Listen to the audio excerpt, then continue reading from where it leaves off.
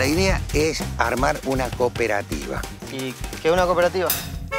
2153. Anóteme con eso, por favor. Este es el mejor momento. Peor no nos puede ir. ¿Qué más nos puede pasar?